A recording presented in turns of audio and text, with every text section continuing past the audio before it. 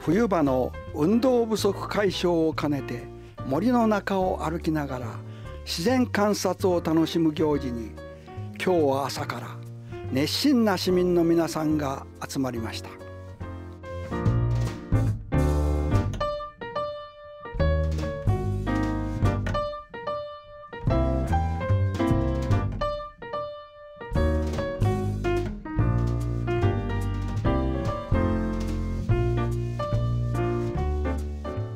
日は楽しくですね、えー、進めさせていただこうと思っていますのでよろしくお願いいたします。で今日ですね、えー、講師の方々を紹介したいと思います。えー、まずですね北広島市グリーンインストラクター連絡協議会の早坂さんです。えー、町を好きになる市民大学 OB 会の福田さんです。よろしくお願いします。同じく澤部さんです。よろしくお願いいたします。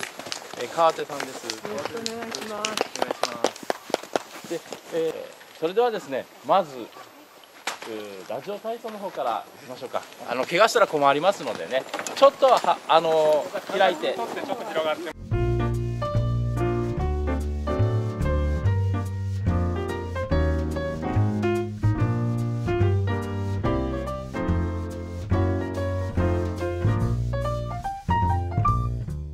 森に入る前に北広島レの森の生い立ちや自然観察のポイントなどについて説明を受けました。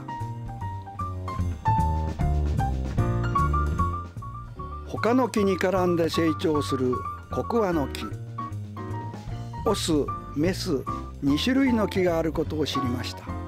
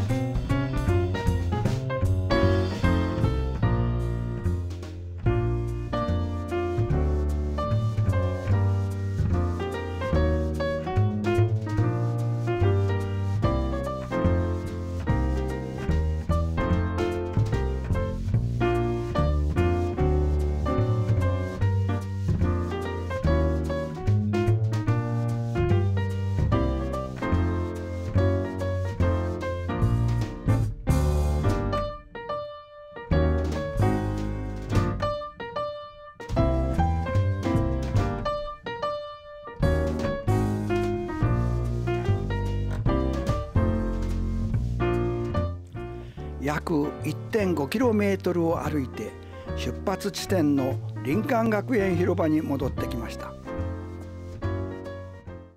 えー、こちらの講師の4人の方ですね拍手で終わりたいと思います。どうもありがとうございまし